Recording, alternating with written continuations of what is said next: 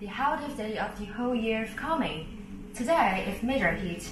How to prevent the heat and keep health during this time? Watch the video and find the answer.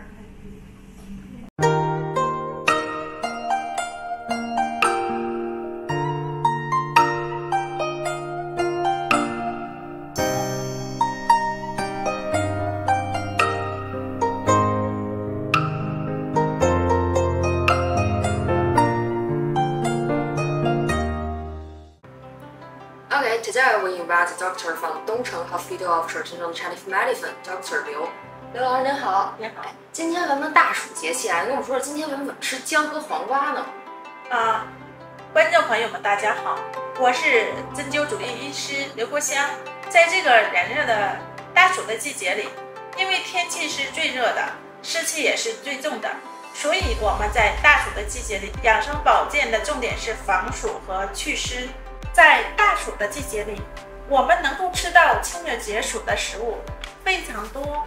现在我和大家一起分享常吃的黄瓜和生姜的作用。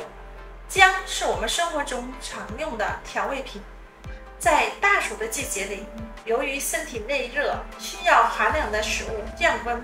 如果过度吃冷饮、冰棍、海鲜等食物过量，吃完之后胃疼、胃胀、肚子疼。吃点生姜丝，寒气会从大小肠里排出来。黄瓜有清热解暑、健脑安神、降血糖的功效。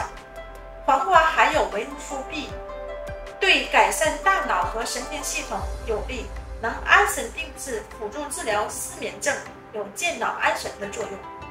黄瓜中含有维生素，对促进人体肠道内腐败物质排出和降低胆固醇有一定的作用。能强心健体。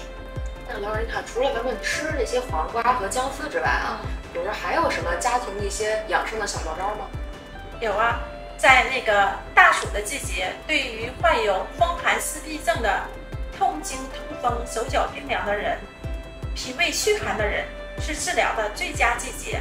冬病夏治，寒者热之，在暑季经常去晒晒太阳，后背上的督脉和膀胱经。经过太阳的照射，等于做了一个大自然的天灸。